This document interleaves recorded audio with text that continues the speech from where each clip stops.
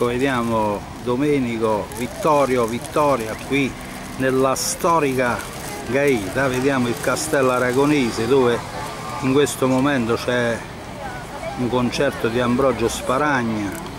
E per la grande disorganizzazione del comune siamo rimasti fuori praticamente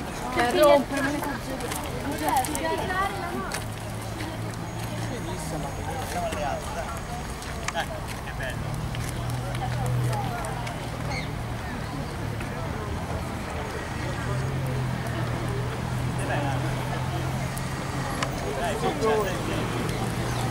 食べたいです。